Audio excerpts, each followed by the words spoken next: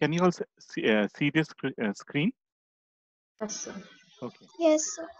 Yes, sir. Okay. So uh, in the uh, earlier session, I had just shown how to derive this.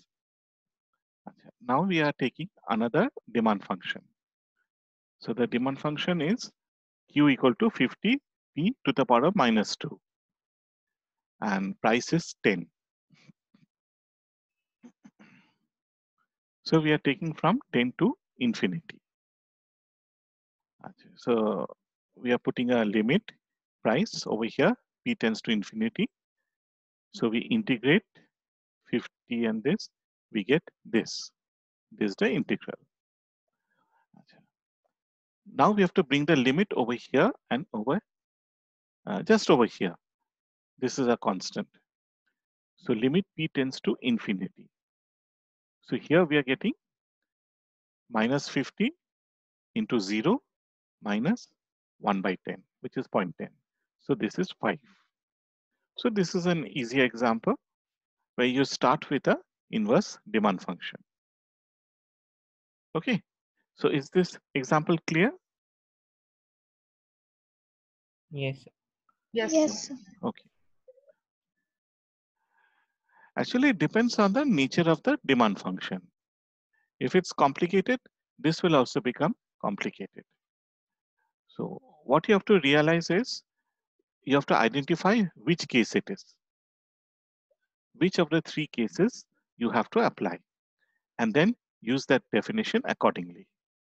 So in here and over here, we are applying the first case. So we simply put a P and then we integrate as usual. ঠিক আছে আর এখানে দেখবে যে এখানে যেমন P নেই আমরা লিমিটটা আনব না এখানে পি আছে এখানে লিমিটটা আসবে আচ্ছা so we have another demand function over here this is p to the power of minus 1 okay but it is in other ways it's like the same so we are integrating from 2 to infinity so that means we should bring make it 2 to this should be actually p. Limit p tends to infinity. So the demand function is 20 by p 20 by p 20 by p. Okay, so 20 comes out and we are integrating from 2 to p. So log p minus log 2 Okay, so when we take the log the limit of this log p tends to infinity. The problem is that this is not a finite value. Okay, so log 2 is easy, we can find it out. But this part doesn't exist. So here it became zero. In some case, it might be something else. But if the limit doesn't exist, we cannot find out consumer or producer surplus in the case of improper integrals. Okay, so this is a the first two cases were cases when we could find out the limit existed. In the first case, it was it existed if epsilon is greater than one. In the second case, it always exists. And in the third case, the limit doesn't exist and we cannot find it out. So consumer surplus cannot be found out in this case, in the third case. Now the second category of improper integral is that we take a boundary, the both the boundary is it's closed and it's well defined. But the problem is within this boundary at some point, the integrand becomes discontinuous. So for instance, if we take the closed boundary 0 to 1 and the function is 1 by x. So if x is 0, the function will not exist. It's undefined. So there's a discontinuity at this point. So here, the discontinuity is at the uh, boundary point, but the, it can also occur within and at an interior point also. The second problem here is that a right-hand side limit doesn't exist. So if we go on increasing x, right, 1 by x. It will tend to plus infinity. So here we take two cases. In the first case, 1 by x, we see that the first function is not finitely valued, but the second function is finitely valued. Okay. But both of them are discontinuous.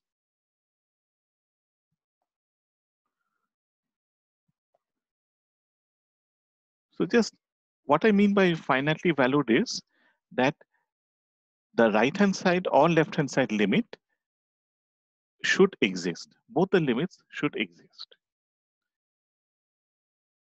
So in the second category of improper integrals, there are two problems. In all cases, you will have discontinuity within the range. In addition, there may be another problem, which is the function may not be finitely valued.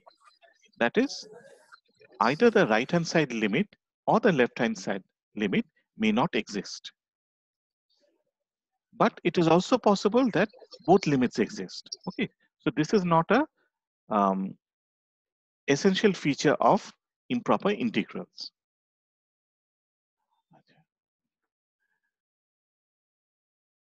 So over here, we have, um, sorry, just one minute.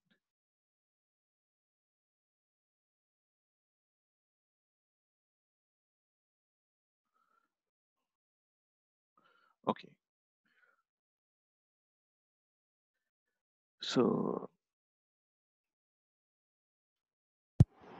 Sir এটা থেকে কি একটা কোনো slide missing আছে কি সিং আছে হ্যাঁ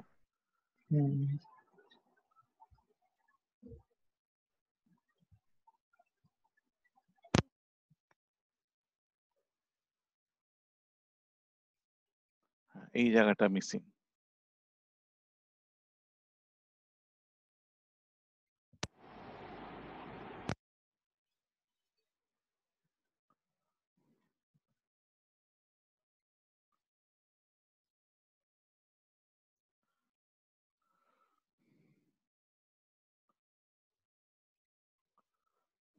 কোনটা ভুল ছিল এইটা ভুল ভুল ছিল না।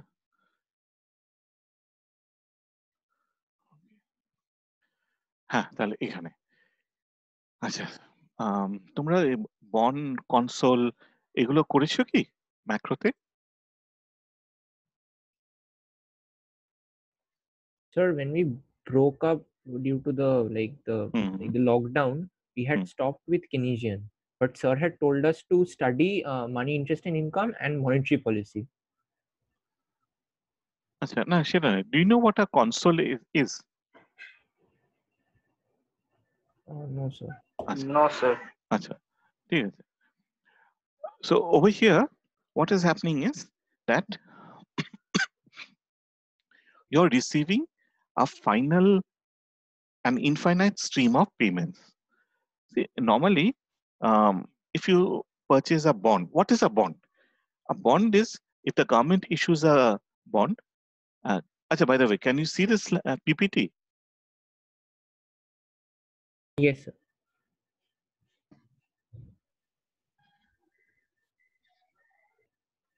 Yeah.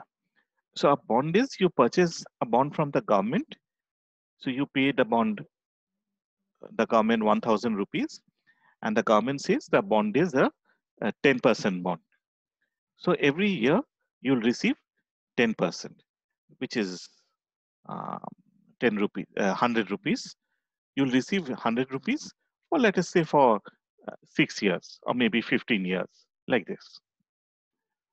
The government can say that it is the amount can be paid uh, after every six months. So you received uh, 50 rupees, uh, sorry, 500 rupees at the end of every six months.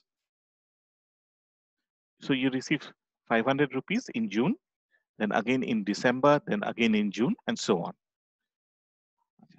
If the bond is perpetual, that is, as long as you hold the bond, till the end of your life or even afterwards, you are going to receive money.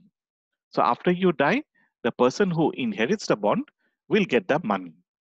Okay, so you have an infinite stream of payment. That is the dif- difference between a bond and a consol. So a consol is a bond, but the period is infinite. Clear? Acha. Now, Yes. if you receive money in the future, then it is worth less than if it is given now. So we have to discount the money. There are several reasons for discounting. One is inflation, the second is uncertainty. So because of this, uh, what you do is the money that you receive in the future, let us say X, the present value of that money will be given by X by 1 plus R to the power of T. You know that, that? Has it been covered in macro? No, sir. We did it- it in like- MD's part, negative discounting and growth, I guess.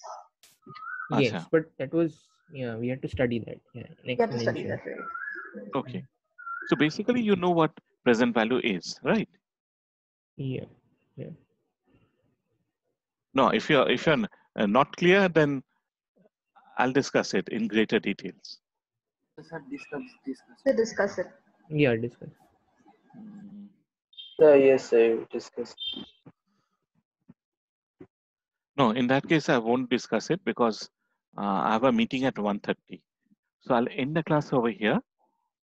I'll send a slide to you, adding the present value. I have only two slides left. So I'll cover that next week. ঠিক আছে? Okay, sir.